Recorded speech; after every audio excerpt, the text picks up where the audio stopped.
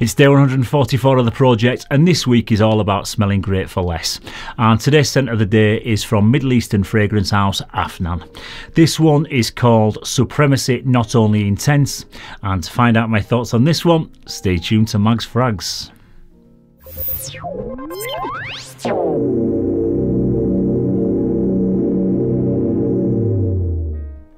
Yes, hello again, everybody, and welcome to this latest episode of Mags Frags. I'm Paul, and this is day 144 of my Fragrance 365 project, where it's the fragrance that's the start of the show.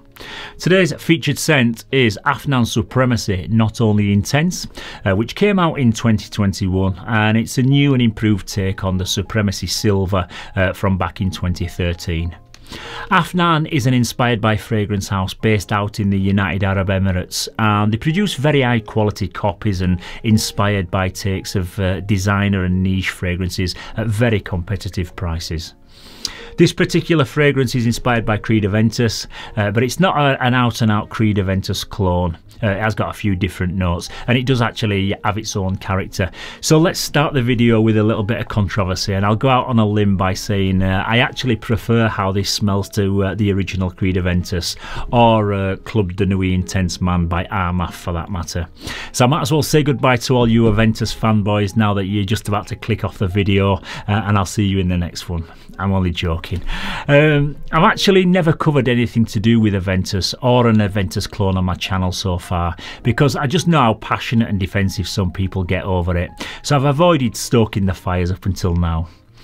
Uh, so this one is uh, a bit on the pricey side for an Afnan fragrance, and I think I paid about 56 quid for it from Notino, uh, but they're currently out of stock. And the cheapest I can see it for now online is uh, around about the 65 pound mark. So it's not cheap, uh, but it's still four times cheaper than the 260, 275 pound price tag of Aventus.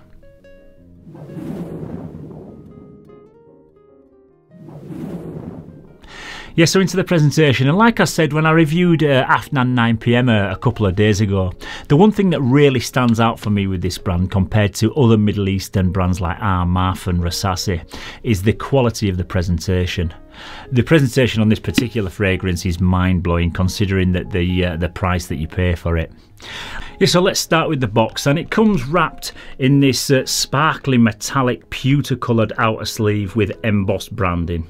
There's a Supremacy logo and lower down is the name of the fragrance and the house and that's in uh, a mixture of chrome and red metallic. Even this outer sleeve is top quality, but that's nothing compared to this beautiful high gloss piano black hard case uh, that the fragrance comes in. It's the kind of presentation you'd, you'd expect from a, a, 10 grand watch and, uh, and not a 60 pound fragrance. Uh, the only downside is that the minute you start handling it, it gets full of fingerprints uh, and it takes away that Hollywood shine. On the front is the again is the name of the fragrance and the name of the house, and on the side uh, is some more Afnan branding in chrome. On the back is all your product information uh, and the concentration, which is an extrait de parfum, uh, which I'll get into in a, a bit later on. There's also uh, the uh, this logo on the front here, uh, but it's not actually part of the box. And when you open this kind of door at the front, it's part of a, another fancy inlay card. Um, which on the back again is uh, some kind of Afnan quality pledge of excellence stamped into it. Then finally, we arrive at the bottle, uh, which is mounted into a plush black velour, and it's finished in a, a metallic pewter colour. Uh, and just look at that. Uh, does that look like a £60 fragrance to you? It's absolutely unbelievable. The only negative downside uh, that I've found with the presentation it comes in the way of the cap. It just comes away a little bit too easy for my liking. Uh, and if you're tempted to pick it up from the hook at the top, um, I would never recommend that. Otherwise, uh, you are going to be dropping your bottle, and the only thing that you that's going to be smelling of Aventus is your bathroom floor. Uh, there's a black atomizer and the spray quality is really smooth and even. And I've got to say that this would be uh, first class presentation for a £300 niche fragrance, never mind one at this price. Well done Afnan, 10 out of 10 for presentation.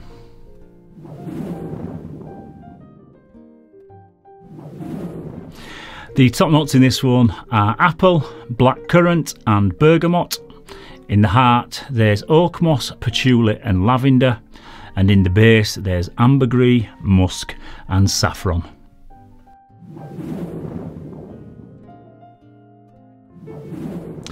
Yeah, so this opens up with what is, in my opinion, the perfect balance of fruits and smokiness. The blackcurrant and the bergamot produce a mouth-wateringly juicy opening that's both fresh and fruity, whilst the oak moss, the ambergris and the musk uh, bring that Aventus uh, smoky, woody and earthy vibe to the background. Aventus batches either used to lean a little bit smoky or you could get fruitier batches, uh, but this one just seems to be the perfect balance of the two. The Club de Nuit Intense clone is way too bitter for me personally, and the opening's a little bit too synthetic and lemony. Testing these two side by side is a mismatch for me, and the Afnan is way better quality than the Armaf in my opinion. Although this is the EDT version and apparently the EDP or the brand new Parfum is meant to be better quality, uh, but I've just not got round to picking those those two up yet. Uh, this is just way more smooth in my opinion. It's just more fruitier and more natural smelling than the Armaf. Uh, but unfortunately, I no longer own a full bottle of Aventus, and I used up my last bottle about a year a year or so ago. Uh, but a friend of mine did very kindly give me a 5ml decant of his, uh, which is a 2020 formulation with a batch code of H11N. This again to me was more balanced and likeable uh, than the original uh, Aventus, which I just found a little bit too dry after about the hour mark. Uh, but the main difference uh, for me was the performance, which uh, I'll get into in a minute or so.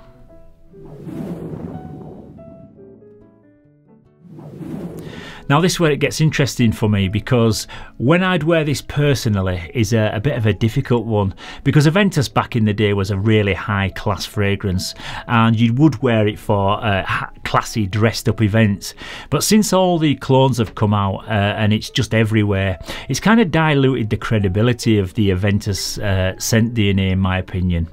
Just a couple of weeks ago, I went to a, a, car garage for a tyre pressure sensor replacing on my car, and the young lad who fit it was about 17 years old, and he was just dressed head to foot in oily overalls, and he literally reeked of the Aventus scent DNA. He was probably wearing uh, Club de Nuit Intense Man, but even if it was the real Creed Aventus, I would probably just still think it was the clone anyway, and there lies the problem.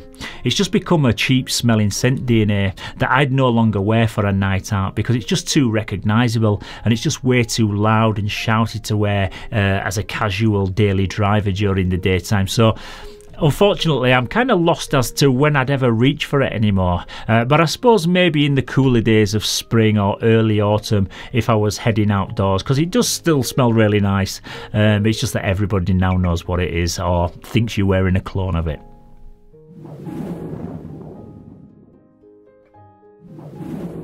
Yeah, again, this is another Afnan fragrance with nuclear performance, and it blew both the original Aventus and the Club de Nuit Intense Man out of the water when I tested them. Just watch any review on YouTube and everyone will say the same thing. This stuff is a 24 hour fragrance and if I sprayed it on one hand and the Club de Nuit or the original on the other, it would just overpower them uh, by quite some distance. It is a projection beast. It lasts until you get a bath or until you put your clothes in the washing machine. Uh, but once you've sprayed it, you'll never need to reapply it again in the same day.